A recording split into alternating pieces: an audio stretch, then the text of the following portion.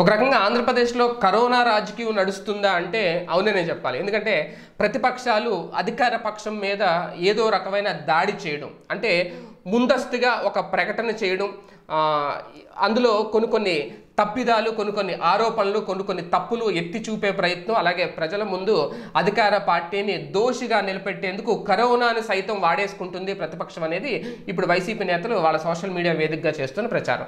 అయితే కరోనా సంబంధించి ఆంధ్రప్రదేశ్ ముఖ్యమంత్రి జగన్మోహన్ రెడ్డి గారు ఏ నిర్ణయం తీసుకోలేదా అంటే ప్రతి విషయంలోనూ చాలా క్షుణ్ణంగా ఆలోచిస్తున్నారు.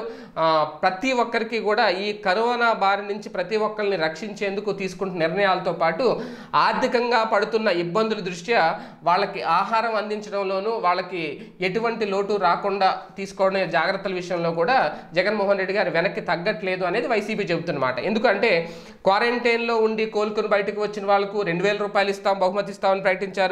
అలాగే ఈ టెస్టింగ్ కిట్ల విషయంలోనూ ర్యాపిడ్ టెస్టింగ్ కిట్ల విషయంలో కానీ పీపీఈ కిట్లు అందుబాటులో తెచ్చే విషయంలో కానీ మొదటి నుంచి ప్రయత్నాలు చేస్తూనే ఉన్నారు. రోజుకి రెండు వేల పీపీఈ కిట్లు తయారవుతున్నాయి తూర్పుగోదావరి జిల్లా మూలపాడు అనే ప్రాంతంలో అనే ఊర్లో. అలాగే ప్రతి ల- ప్రతి లక్షల జనాభాకు పన్నెండు వందల డెబ్బై నాలుగు చొప్పున అత్యధిక పరీక్షలు నిర్వహించిన రాష్ట్రంగా ఆంధ్రప్రదేశ్ గుర్తింపు కూడా పొందింది. మొదటి స్థానంలో కూడా ఉంది. అలాగే లాక్డౌన్ సమయంలో నిత్యావసరాలకు సంబంధించి అత్యవసరాలకు సంబంధించి ఎటువంటి ఇబ్బందులు పడకూడదని చెప్పి వాళ్ళకి రేషన్ సరుకులు ఇవ్వడం కందిపప్పు ఇవ్వడం లేదంటే బియ్యం ఇవ్వడం పది వెయ్యి రూపాయలు అందించడం ఇవన్నీ కూడా వాలంటీర్లు తమ డ్యూటీని వాళ్ళు చేస్తున్నారు. అలాగే సర్వేలు కూడా ఇప్పటివరకు మూడు విడతల సర్వేలు నిర్వహించారు వాలంటీర్లు. అంటే ఎవరైనా కొత్తగా వస్తున్నారా? వాళ్ళ పరిస్థితి ఎలా ఉంది? ఆరోగ్య పరిస్థితి ఎలా ఉంది? ఏందనేది అవసరమైతే వాళ్ళు ఇమీడియట్గా క్వారంటైన్ తరలిస్తున్నారు.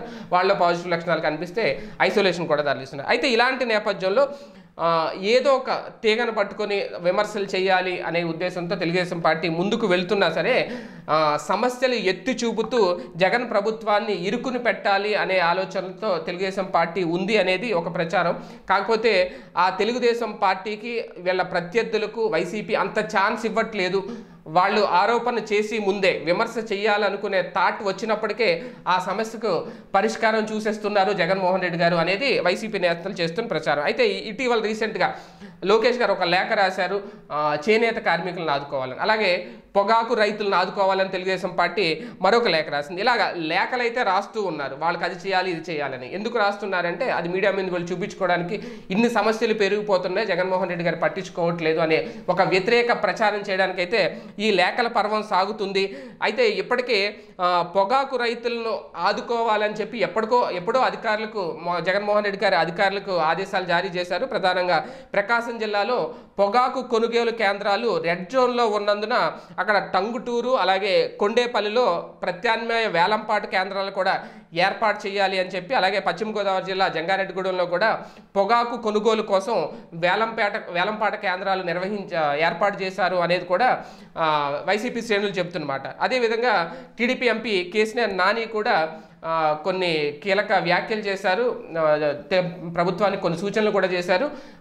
ఇతర రాష్ట్రాల్లో చిక్కుకుపోయిన వలస కూలీలు ఎవరైతే ఉన్నారో వాళ్ళందరినీ కూడా వలస కూలీలను అలాగే మత్స్యకారులను కూడా మన రాష్ట్రానికి తీసుకొచ్చే ప్రయత్నం చేయాలి అని చెప్పి ప్రభుత్వాన్ని కోరడం జరిగింది. అయితే ఆల్రెడీ జగన్మోహన్ రెడ్డి గారు ఈ ప్రయత్నం ఎప్పుడో మొదలుపెట్టారు. మొన్న గుజరాత్లో చిక్కుకుపోయిన తెలుగు మత్స్యకారులను తిరిగి తిరిగి రాష్ట్రానికి రప్పించే ప్రయత్నం కూడా చేశారు.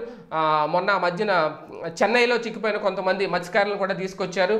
అలాగే ఢిల్లీలో ఉండిపోయి ఢిల్లీలో బయలుదేరి ఛత్తీస్గఢ్లో ఇరుక్కుపోయిన విద్యార్థులు ఎవరైతే ఉన్నారో వాళ్ళను కూడా విశాఖ తీసుకొచ్చే ప్రయత్నంలో సక్సెస్ అయ్యారు జగన్మోహన్ రెడ్డి గారు. ఇవన్నీ కూడా శాంపిల్స్ చూపిస్తున్నారు వైసీపీ నేతలు. అంటే వీళ్ళు కోరుతున్నారు అక్కడ ఇరుక్కుపోయారు ఎక్కడ ఉండిపోయారో తీసుకురండి అని. కానీ జగన్మోహన్ రెడ్డి గారు చేసే ప్రయత్నాలు చేస్తున్నారు. ఎందుకంటే రాష్ట్రాలు దాటాలన్నా ఎక్కడ దాటాలన్నా ఖచ్చితంగా వాళ్ళకి టెస్టులు చేయాలి వాళ్ళని క్వారంటైన్లో ఉంచాలి. తర్వాతే వాళ్ళు సురక్షితంగా ఉన్నారని తెలిస్తేనే వాళ్ళ స్వగ్రామాలకు పంపిస్తారు. సో ఈ లోపల ప్రజల ముందు ప్రభుత్వం ఏం చేయట్లేదు ప్రజలను పట్టించుకోవట్లేదు అనే ఒక ప్రచారం చేయాలనే ఉద్దేశంతో తెలుగుదేశం పార్టీ ఇటువంటి లేఖలు రాసి ప్రజలను తప్పుదోవ పట్టిస్తుంది. కానీ జగన్మోహన్ రెడ్డి గారు చేయాల్సిన పనులు అయితే చేస్తున్నారు. కావాలంటే అప్డేట్ తెలుసుకోండి తెలుగుదేశం పార్టీ నాయకులు అనేది ఇప్పుడు వైసీపీ సోషల్ మీడియా వేదికగా చెబుతున్న మాట.